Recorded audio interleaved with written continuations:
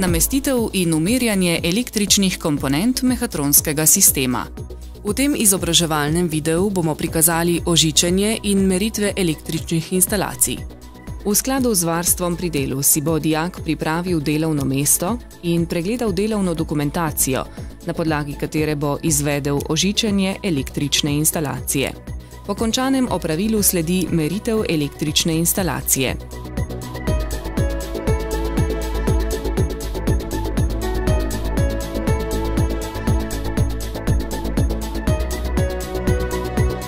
Dijak si pripravi ergonomsko urejeno delovno mesto. Pomembno je, da je delovno mesto urejeno, saj na ta način lažje opravlja svoje delo.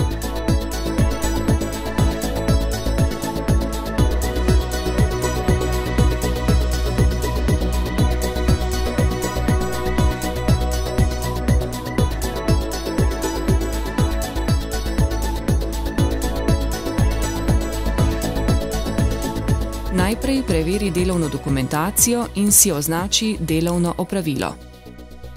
Začne postopek ožičenja. S primernim orodjem sname izolacijo žice, na njo stisne votlico in kabel privijači v primerno sponko.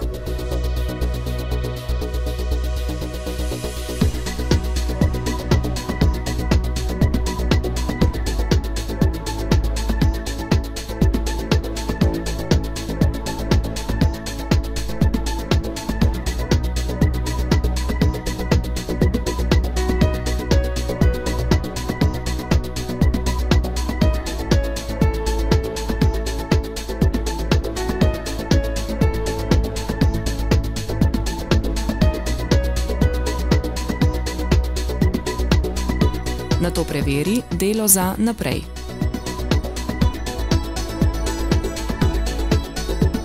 Zamenja varovalko v električni instalaciji.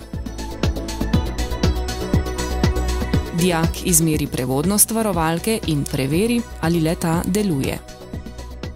S pomočjo električnih meritev preveri pravilno izvedbo električnega ožičenja in odpravlja napake na električni instalaciji.